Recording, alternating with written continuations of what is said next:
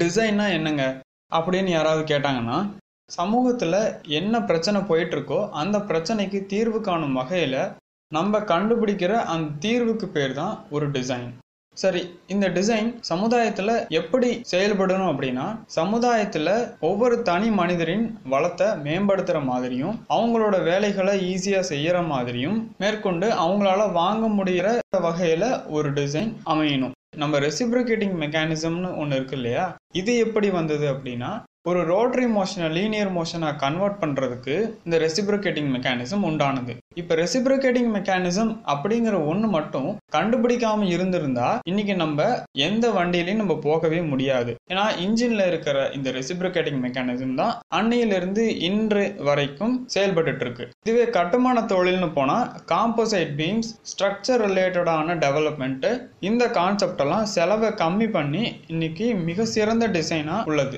இப்போ பாலம்லாம் எடுத்துக்கோங்களேன். மக்களுக்கு பயன்படும் வகையில் உள்ள ஒரு சிறப்பான டிசைன் இந்த மாதிரி ஒரு சமூகம் மேன்மேலும் மேன்மை அடைய நம்மளால முடிஞ்ச தேவைகளை பூர்த்தி செய்யற வகையில இந்த டிசைன் போகணும். நம்ம வாழ்க்கையில நம்ம டெய்லியும் பயன்படுத்திட்டு இருக்க ப்ராடக்ட்ல நமக்கு உண்மையிலுமே நமக்கு தேவைப்படுற ப்ராடக்ட் எது அப்படின்னு நீங்களும் கொஞ்சம் சிந்திச்சு பாருங்க. நமக்கு தேவையில்லாத நம் மீது திணிக்கப்பட்ட ப்ராடக்ட் எவ்வளவோ இங்க இருக்குன்னு எக்ஸாம்பிள் சொல்ல முடியும். இந்த காரணங்களால நம்ம கண்டுபிடிக்கிற ஒரு டிசைன் மற்றவங்க மேல நம்மளோட இந்த தயாரிப்பை போய் திணிக்கிற வகையில முதல்ல இருக்கக்கூடாது.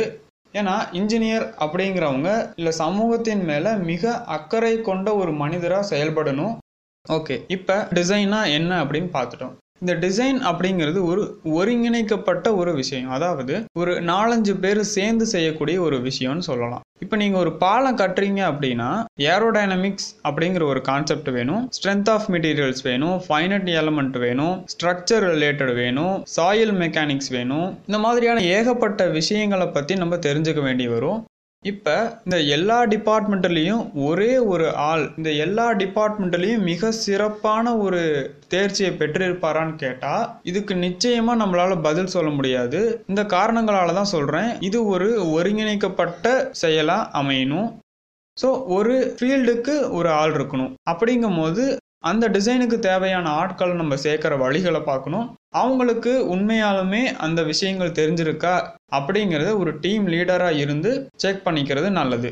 ஓகே இப்போ டிசைனராக தேவையான கான்செப்ட் என்னன்னு கேட்டிங்கன்னா உங்களோட ஃபீல்ட் ஆஃப் இன்ட்ரெஸ்ட்டில் ஸ்ட்ராங் ஆகிறது மட்டும்தான் கூட சொல்லலாம். ஏன்னா இது ஒரு இன்டகிரேட்டட் ப்ராசஸ் ஸோ நீங்கள் ஒரு டீமை ஃபார்ம் பண்ணி அது மூலமாக வந்து நம்ம வந்து ஒரு டிசைனை உண்டாக்க முடியும். அப்போ ஒரு பாலம் கட்டுறீங்க அப்படின்னா ஒவ்வொரு வருஷமும் நம்ம வந்து ஒரு பாலத்தை கட்டிட்டு இருக்க முடியாது. அது இத்தனை வருடங்கள் நீடிச்சு நிலைக்கணும் அப்படிங்கிற விஷயங்களை நம்ம கருத்தில் கொள்ளணும்.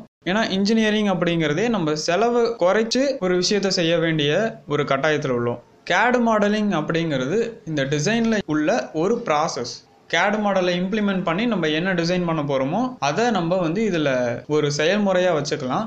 அப்புறம் நம்ம என்ன கற்றுக்கிட்டாலும் இதெல்லாம் பேசிக் கான்செப்ட்னு சொல்கிறாங்களே எப்போ தான் நம்ம டெவலப் ஆகுறது அப்படின்னு கேட்டிங்கன்னா இப்போ எக்ஸாம்பிளுக்கு நான் எப்பயும் போல் ஸ்ட்ரென்த் ஆஃப் மெட்டீரியல்ஸ்லேயே சொல்கிறேன் இப்போ டென்சல் ஸ்ட்ரென்த்தில் இந்த கர்வ் போகுது இல்லையா?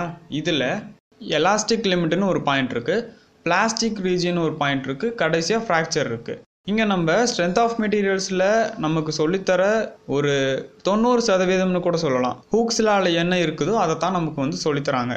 இந்த கான்செப்ட் வழியாக வந்தது தான் இந்த ஷியர் மாடியூலஸ் யங்ஸ் மாடியூலஸ் எல்லாமே. இந்த பாயிண்ட்டுக்கு கீழே தான் நம்ம இருக்கோம். ஸோ நம்ம இன்னும் கற்றுக்க வேண்டியது பிளாஸ்டிக் ரீஜியன் இருக்குது ஃப்ராக்சர் மெக்கானிக்ஸ் இருக்குது இதெல்லாம் கற்றுக்கிட்டதுக்கு அப்புறம் தான் நம்ம இந்த சாலிட் மெக்கானிக்ஸில் ஃபுல்ஃபில் ஆகிட்டோன்னே சொல்ல முடியும்.